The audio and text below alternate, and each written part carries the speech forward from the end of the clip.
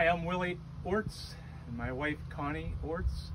Behind the camera there we have Ortz's Crooked Creek Farm. Um, we raise alpacas and we have a small produce market. We grow some produce and we also grow microgreens and we'll talk about that a little bit. Um, but right now I'll show you in the market some of the things that we grow and some of the things we buy locally from our farmer friends. This is our market. Ortz's Crooked Creek Farm Market. It's just a small market in here, Petersburg, Ohio. And you'll see some of the things that we're selling to our friends, neighbors. Uh, some green peppers. And this will be the last of them for this year. These are hot peppers. Some of the other things we grow are we have tomatoes, and there's different kinds of squash. This is a spaghetti squash.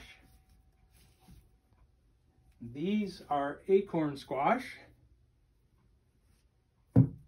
We have butternut. And we got some really neat pumpkins for uh, Halloween. This is a blue pumpkin. And if you look what Connie has done with this one, that's Frankie. So we talked a little bit about what we grow. Um, like I say, we raise alpacas for fiber, which we use in the yarn shop, and we can show you some yarn and some uh, garments that Connie makes and her friend Deneen at Farmhouse Yarn. But uh, this is some of the microgreens I'm growing. This is a basil. And uh, each week we grow probably 60 to 70 flats of different microgreens and we take to the restaurants throughout the valley.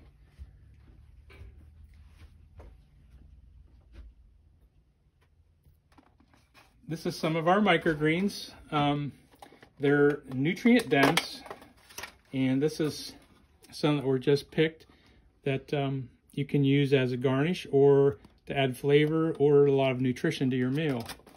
This is one of the big things that we grow on our little farm, and we're not a big farm by any means. So this is like a, a huge, huge income for us. Um, this is quail eggs. This is kind of neat. We just started raising quail. We've always raised chickens, but these are quail eggs. Really high in nutrition. Again, they're real high in B12. They're great for eye health. And here they are compared to one of our hen's eggs. They're a little bit smaller. but we like them. They're neat birds. Time of the year, you're going to see a lot of pumpkins and decorative gourds and things like that. Corn for Halloween. Um, all the, the local produce that's grown outside, we're just about coming to an end. We had a hard frost last night, but we wanted to talk about some of the things the other farms do. Um, you're going to see a lot of uh, beans being harvested right now. Corn will be coming up, so you'll see the big combines, and everybody's trying to beat the winter to get everything picked. Um, this is something that my wife does. She she uses some of the products from our market just like the apples over there and she's making apple jellies, things like that. Here's an apple pie jelly, peach jam, something interesting. It's called corn jelly. It's made from corn and actually this corn we got from Onar Farms right in, in Springfield Township. We have plum jelly, stone fruit. Here's a big seller is cherry jam. and here's a really cool one. I think the kids would like watermelon jelly. so our market, we try and feature the the farms in the area, our farm friends, the Monars, um, the Rainies. Um, there's just so many of them that we've known over the years. Uh, Brungars, Kohlers, we're, we're hoping to have some of their products in here next year because we started a little late this year. We have honey from our the Rob family farm. We have maple syrup. And actually in about four months we'll be starting to make more maple syrup. And um, my wife has mixes that you can make chocolate chip cookies or biscuits, pancakes. And uh, like I say, this is what we do on our little farm. There's a lot of other types of farming, but our big thing is, like I say, the produce, the, the alpacas, and um, our microgreens is huge. We grow a lot of microgreens. So we'll have more to show you.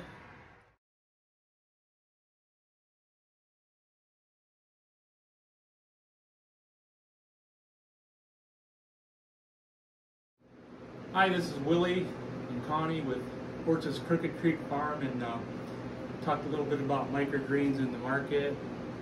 Uh, we're going to uh, plant some microgreens today and I'll show you how I do it and talk a little bit about it. So we're going to be planting uh, today some cabbage, some kale, some radish, and some broccoli. Those are some of the ones we use for our restaurants. But uh, we'll start from the beginning. It's not a, it's not anything uh, difficult. It just takes a little time and care for the microgreens. They usually go about eight to ten days, and then we harvest. But we're going to start here with this is the very beginning. We're going to put soil in our flats. We use 10 by 20 flats. When we're really busy, we would be growing about 60 to 70 flats a week that our restaurants would use. The first thing we're going to do is get some soil. This is a product, uh, it's from Roots Organic. It's an organic mixture, and then I have a little bit of extra stuff I put in there, some peat, things like that. So we're going to put two scoops of soil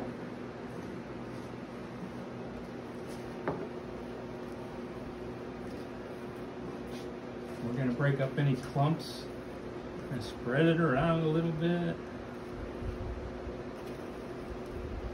Go for the next one.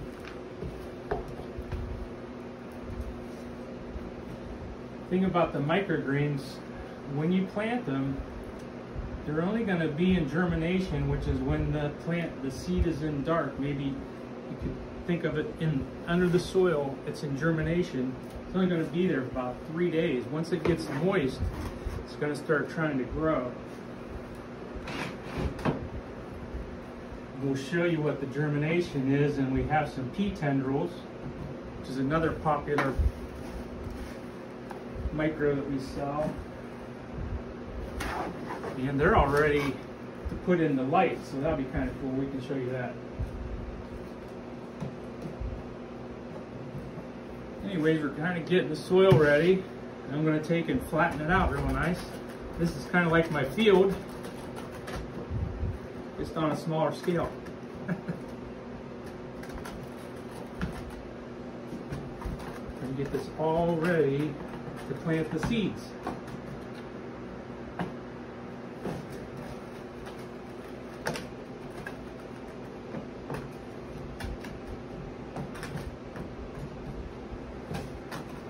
You'll notice you hear fans running in the grow room here. It's real important to have good air circulation, good airflow for the plants to be healthy. And there the seed is ready to be planted. We're going to do some cabbage. This is a red acre cabbage. It's real popular. I've been doing this so long I don't even measure anymore. I kind of can tell each seed by about how much I need. And you're just gonna lightly sprinkle this seed in here. You don't want it to clump. You just want to spread it out real even. It kind of takes the human touch to do this. And like I say, I've been doing it so long. And there's the first flat. Seeds are ready. We'll do it again. So we get all these planted. Like I say, this is gonna be cabbage. In a microgreen form, we're only gonna have this grow about eight to 10 days and it's ready for harvest. It's really nutrient dense and it's, it's a little different than what you uh, would think about a cabbage because it, as an adult, it's pretty big. It's about the size of a softball or even bigger. And you all know what cabbage looks like. But this has the same kind of flavor. There's all the seed. Now, we're gonna take and just tamp the seed a little bit.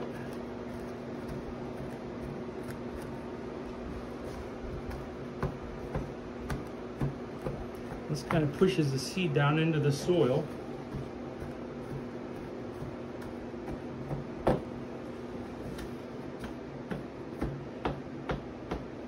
And these four flats are ready for some water. Okay, we're gonna go ahead and label the flat.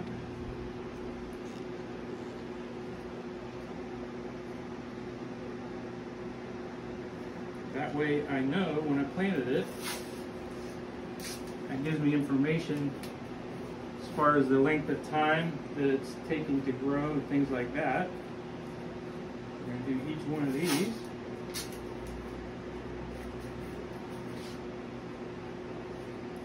And then we're going to water it.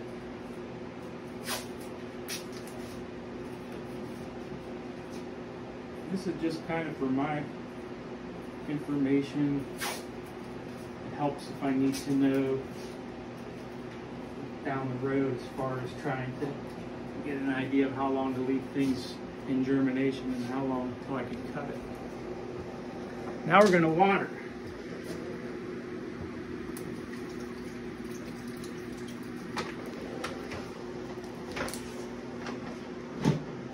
It's not, not going to take a lot, but this is just like if it would rain. That's going to trigger these seeds to open up and start growing.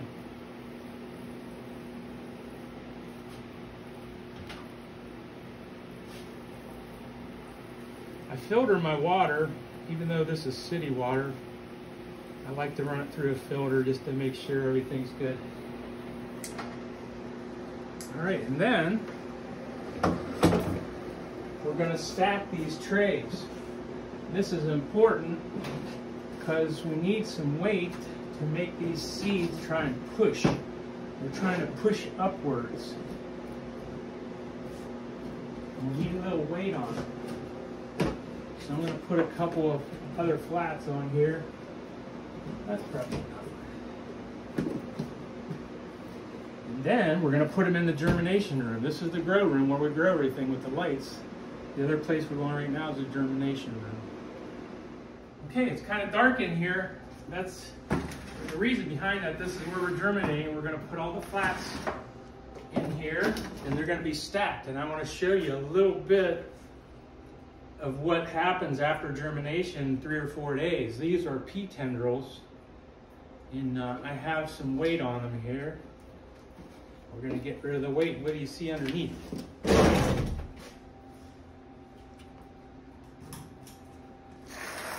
These are pea tendrils.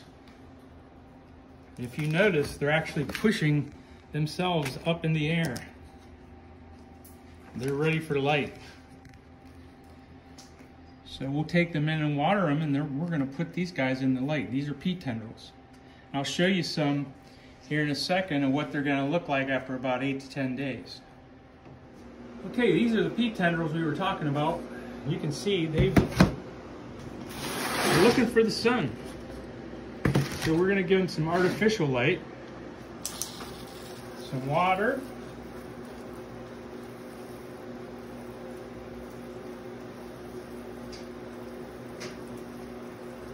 Peas take a little bit longer than the other microgreens. They're about two weeks for harvest. So that's the tough thing with what I'm doing. I'm trying to uh, guess when I would be harvesting for a restaurant. So I have to plan all this stuff out in advance.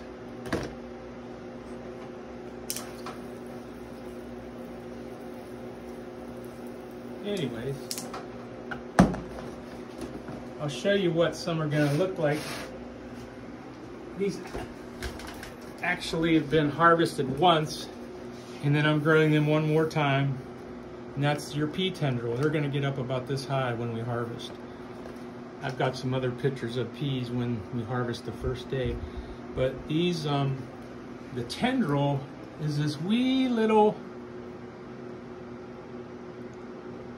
part of the plant. That is the tendril. And it can detect chemical and physical things to try and climb. It's, it's really kind of neat. But anyways, I grow these a second time through to get a twisted tendril and the chefs like that for when they plate up. It looks really nice. And uh, anyways, we're gonna put stuff in uh, germination and in about eight days, we're gonna be putting, or I mean, we're gonna be putting in the light in about three days, but in about eight days, we're gonna be harvesting. So a little bit about microgreens, and you all can uh, have your teachers teach you about the plants and the parts of the plants and things like that. It's it's really kind of neat stuff.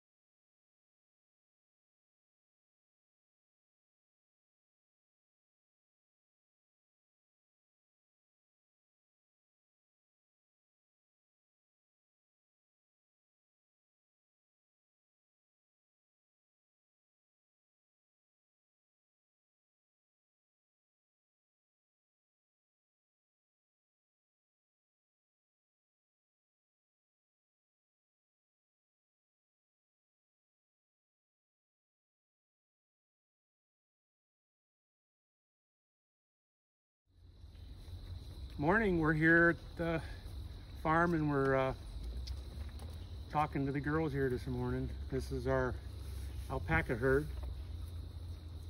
We've raised alpacas, that's the other thing we do at our farm. We're around 14 years. And yes, they all have names. And a lot of them know their names.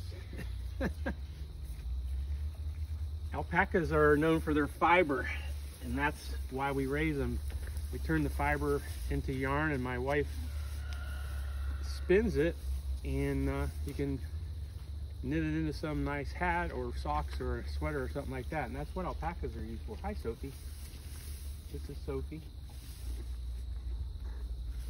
Alpacas like hay and they're grazers. That's what they're, they graze on all kinds of grasses and things like that. But um, we just wanted to show you a little bit of the herd. And uh, this is our fun time. Come here, guys. Come on over and get some. Come here, Gemma. That's Soiree, the brown one. and Sylvia. Who else is here, huh? Oh my. Oh, and you hear that noise? They hum. That's how they communicate. They have other little noises, but they mainly hum. Huh. Don't ya? How about you, Soiree? You want some? Gotta check it out first. This is Gemma. And Rory.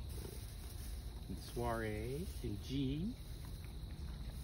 Sylvia. Anyhow, we wanted to show you our alpacas at the farm. Thought it'd be fun. It's a nice foggy morning here. But uh, hope you enjoyed it. Bye.